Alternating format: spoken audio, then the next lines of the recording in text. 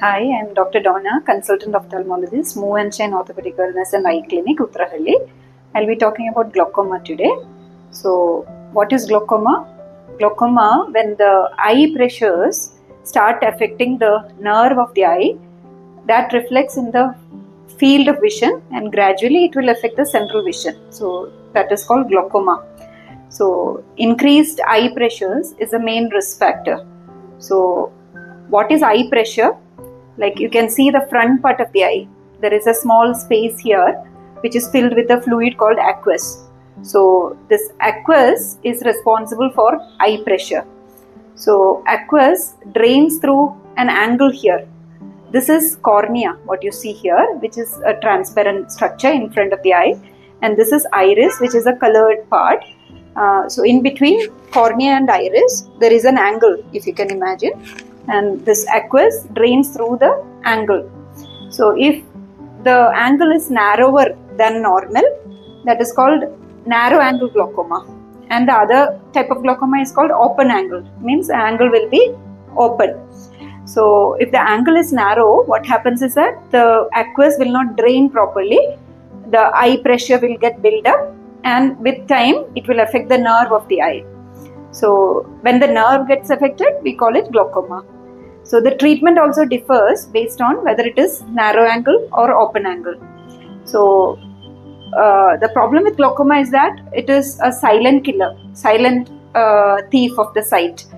So uh, the patient will not know whether his eye pressures are high or not unless he comes and checks.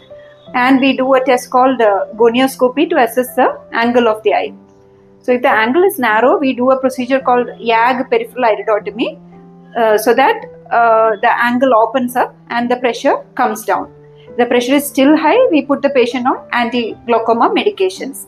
And for open angle glaucoma, initially the treatment will be with uh, uh, anti glaucoma medications.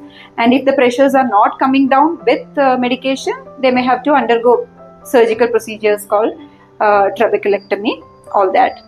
So, in glaucoma, what happens is that initially the side vision comes down with one eye how much area we are seeing that is called the field of vision of that eye. So initially the field of vision comes down. For example if i am having glaucoma if i am looking straight i'll be seeing things clearly. But if somebody comes from this side or that side i will miss that. But i will not uh, realize that because i will just turn and see. So whether your fields are getting affected or not we have one computer test uh, to assess that. So uh, as I told initially, the patient may not come to know about it unless we check the eye pressures, we check the fields with this computerized test, all that. So, if the fields are affected, we start them on treatment, which will reduce the progression of the disease.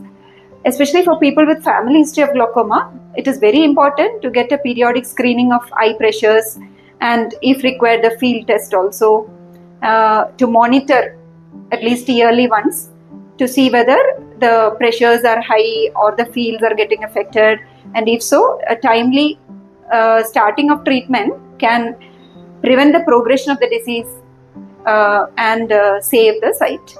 thank you